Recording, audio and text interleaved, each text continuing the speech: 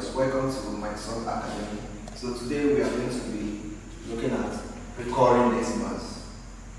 Okay, and then in this recurring decimals, we refer these decimals as decimals that have a repeating digits. Okay, in which their digits are not repeating. So we can have a recurring decimals that have up to two or three digits that are recurring. Now let us look at this example.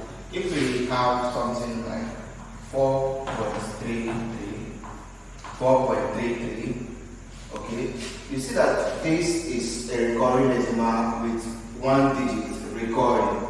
Okay, so you look at another example, let's say we have another one. 8.37, 37, 37.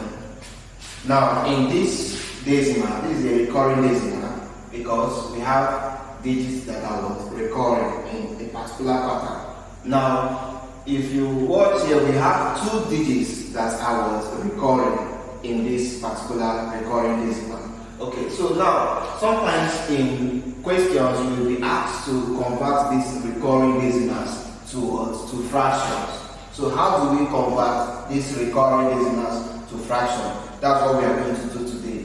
So let us use this example here. Let's say we have this example one and this example two. So we are going to change them to to fractional form.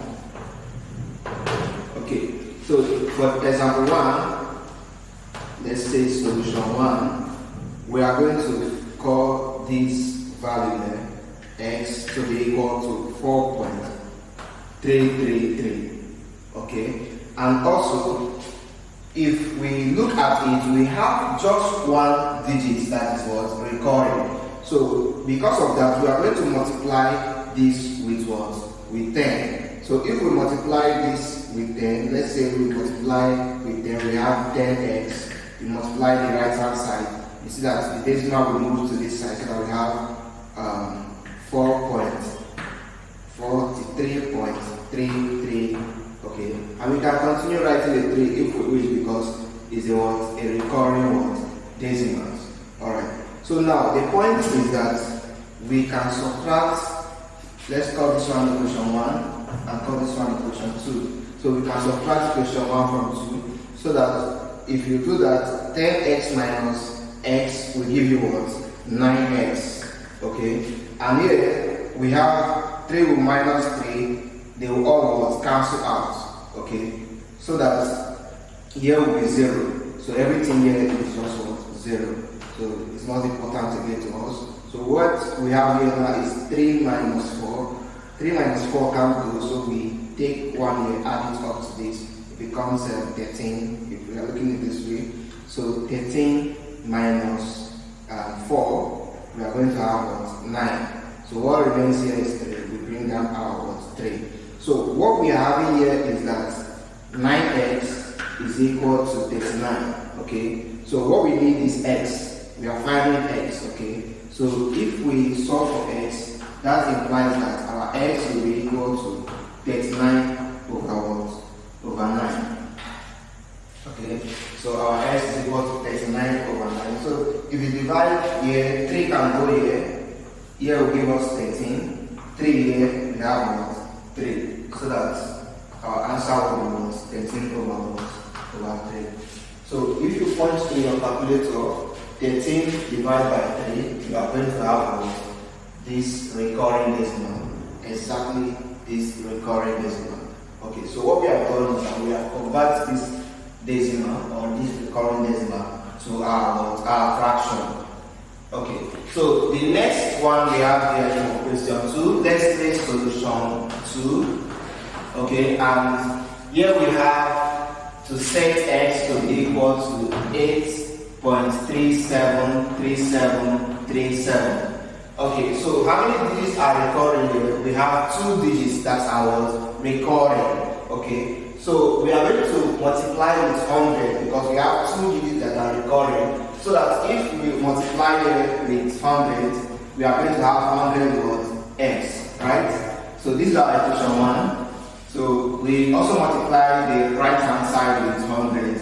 the decimal point will move two places, okay? So that we have 8, 3, 7 points. Then we have 7, 3, 7, 3, 7. We can continue that way, writing 3, 7, 3, 7 because it is a what? A recurring decimal. So now we subtract equation 2, equation 1 from 2 so that what we are going to have here, if we subtract, we have 100 minus 100x minus x will give us 99 what? x. Okay, so here we give you 0, 0, if you subtract. So everything here will be 0, 0, 0, and it continues that way. Now, for this other one here, we have, if we say 7 minus 8, it can't go, so we have to take one number from 3 to this side. We have 1, 7, 17, and here remains 2, so that's 17 minus 8, we have what? 9, okay? So 2 here can come down, and we have uh, 8 is also down. So this implies that we are having 99x is equal to 829. So what we are looking for is x, so that our x will be equal to 82, 829 divided by what? By 99. So this becomes our, our answer. So what we have done here is that we have converted this uh, recurring decimal to a what? To a fraction form. So if you punch your calculator and do 82, 829 divided by 99, you are going to get this one's decimal or this recurring decimal. So you see such kind of question in your exam in elementary mathematics, see this kind of question.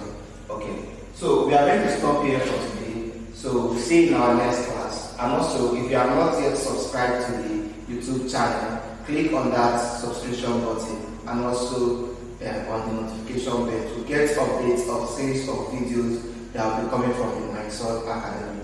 So see you in the next class. Have a wonderful